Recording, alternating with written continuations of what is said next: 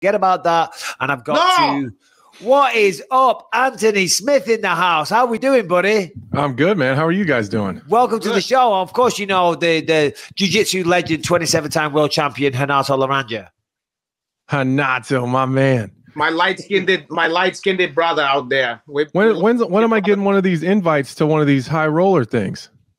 Oh, you want to came on there, but you're gonna get paranoid from all the weed smoke. I know I can't smoke weed. I get too fucking weird. Oh, I get paranoid. I get so fucking can't. paranoid. Well, then we should have you guys on there because maybe you can fight some lesser grapplers, some guys is bums, but then you're gonna smoke weed and you're gonna be like like having a freak out, and then it's gonna maybe even the playing field or something like I that. need a white belt. Hold on. I need a So white belt.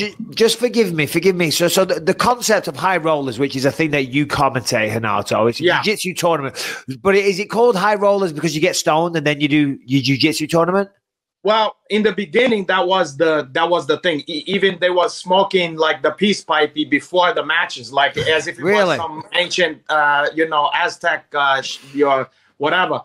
And then I guess there was maybe an issue where with like sanctioning the shit, where it's like you can't prescribe that, you can't require that, you know. Yeah, yeah. so yeah. it's kind of like a wink winks that you know people can choose to smoky if they want or not but you can't you can't make a, a person smoke a you weed, can't you know? force them to smoke yeah weed. Anyway, so, anyway. so but most of the people is high as uh, uh, yeah is high off they they they ass on that one yeah, um, yeah. And like we had some we had one the last event was or one two event ago it was uh, uh cops versus stoners Oh, I see. Oh, that's and good. so, and so the cops was not supposed to be able to